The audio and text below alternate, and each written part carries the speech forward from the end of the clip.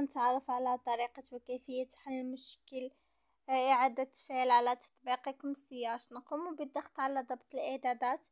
سوف نضغط على تطبيقات ثم سوف نقوم بنزول إلى الأسفل البحث عن سياج خاص بكم نضغط عليه.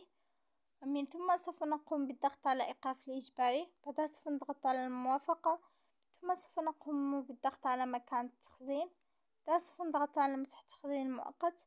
ثم سوف نقوم بإيقاف إعادة تشغيل هاتف خاص بكم سوف نقوم بالضغط على متجر جوجل ومن ثم سوف نقوم بالضغط وهنا سوف نقوم بالبحث عن سياج خاص بكم سوف يظهر لنا على هذا الشكل وعندما تجدون هنا تحديث قم بالضغط عليه وسيتم تحديث تطبيقكم السياج وهكذا نكون قد قمنا بحل المشكلة لا تنسوا الضغط على زر لايك والاشتراك في القناة ونراكم في الفيديو القادم إن شاء الله.